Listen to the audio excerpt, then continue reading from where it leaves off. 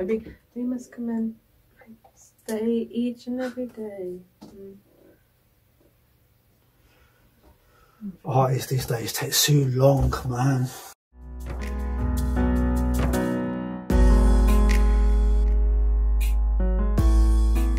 You talking about me? Yeah, we're talking about you. How rude. I'm joking, guys. Getting the best out of it.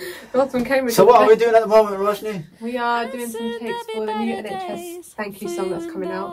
Um, it's a big thank you song from everyone, and it's musically from us. So once it's out, share, support it with the family and friends, um, and just keep listening to it.